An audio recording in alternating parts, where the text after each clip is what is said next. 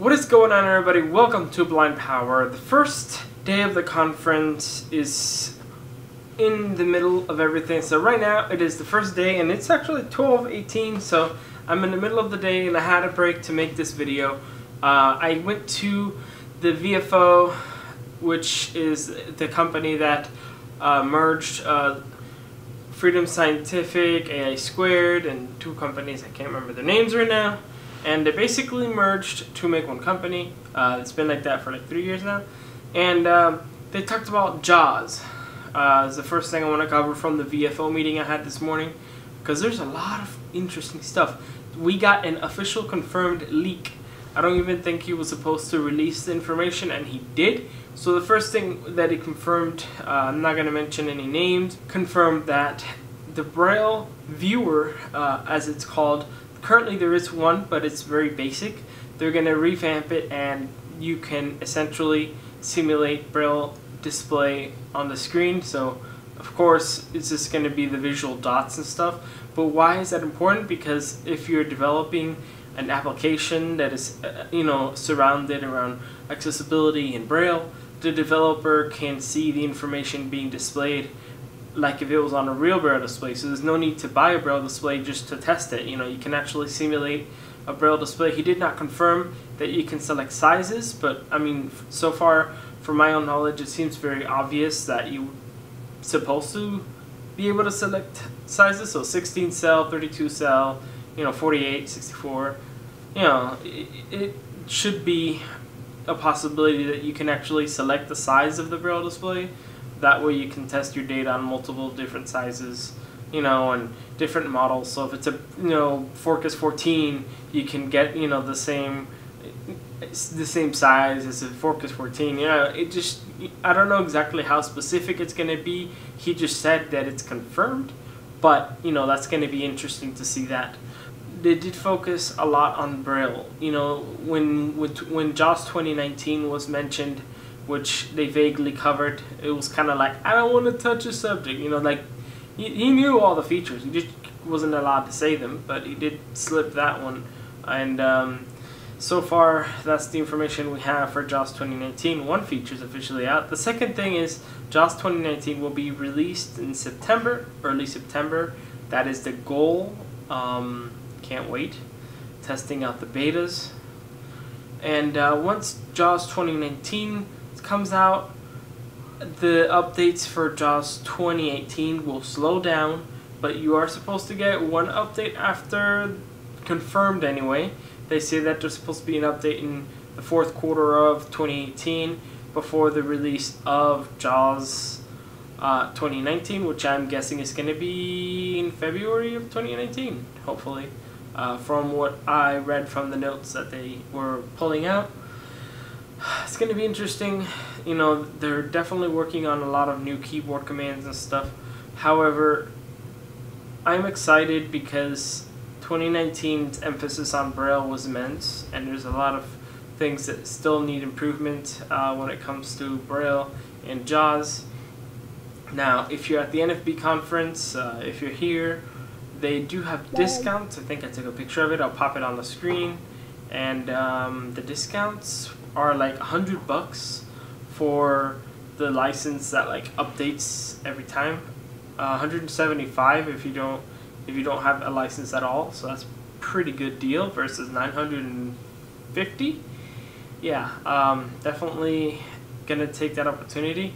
Uh, you know, ZoomText licenses for a 100 bucks. So I, I I mean that that's an obvious definitely gonna buy. You know what I mean? So, uh, you know, there's lots of things that we can expect for JAWS 2019 that I'm excited about. So this video is about JAWS 2019 and about the fact that there's lots of hopes um, for Freedom Scientific and JAWS to, uh, you know, get better and more bug fixes. They did talk about uh, compatibility with uh, Microsoft Edge. They said that they're working on it. So for hopefully for JAWS 2019, he did say that they were working on the uh, Internet Explorer, not Internet Explorer, Microsoft Edge compatibility.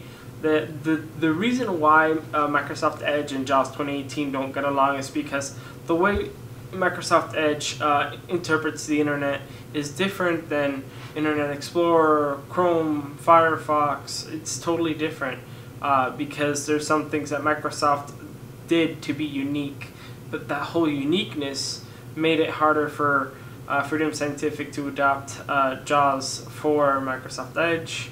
It, I mean, it works kind of, but it, but there's still problems with it. Um, they did say that if that you know now uh, they talked about also the help thing for JAWS. I, for, I forget the exact name, but you basically do the JAWS the um, the JAWS command, uh, and then you do the question mark, and you should get to a screen where you can search up different topics about uh, keyboard commands and stuff. So uh, you know, there's definitely high hopes for uh, more Microsoft Edge integration in JAWS 2019 and um, better search results because it's already good in JAWS 2018 with the whole question mark thing. And now, if they're going to keep making it better, I see that uh, you know they're going to be making JAWS in 2019 perhaps a obvious buy. You know, if you're using Window Eyes, you know, definitely I would say discard it and go to JAWS because after you know Window Eyes has been kind of lagging behind, JAWS is giving discount. JAWS has discounts here at the conference and has um, more uh, uh, you know groups to learn more keyboard commands. They they have trainers uh, all over the states. They're trying to hire people that, to do the training. They are merging with Aira, I believe, to if if if you're having a problem with um, JAWS, like it's it's not talking or or you know somebody just uh, completely muted your computer and left you in limbo where you can't use JAWS, and you you know call up Aira, which is the company that does the glasses that have tech support kind of thing. Somebody that sees what you see through your glasses and they will guide you in whatever you need. It's kind of like an OnStar for your eyes. Um, if uh, if you ask Aira for uh, VFO support, VFO will actually give you back those minutes. So basically, Aira will take some sort of like tech support thing for VFO, which is interesting since so many people are walking around with Aira. So those are the updates that I have with uh, VFO in uh, the conference. I mean, I can't wait. JAWS is definitely going to be great in 2019. Um, 2019 is going to be a great year for JAWS. Lots of new features from what it seems.